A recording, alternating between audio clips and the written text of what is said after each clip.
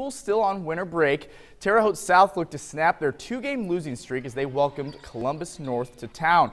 Late in the first, Marie Wilson threads the needle to Brylan Athlone for the South lay-in. Braves tie things up at 8. Second quarter now, Wilson decides he's going to try his luck against the Bulldogs defenders and gets his one-handed shot attempt to fall. Braves back within four. Later in the quarter, great hustle from Jaden Wilkins for the loose ball. Apollone comes up with the rock but gives it back to Wilkins for the layup. Why not reward your teammate for that effort on D? Final two minutes in the half. Apollone puts this one right on Wilkins underneath the hoop. South trailed by 20 trailed 25 to 19 at the halfway point, but Columbus North bullies their way past Terre Haute South in the second half of this one as the Bulldogs beat the Braves 62 to 32. Up in South Vermilion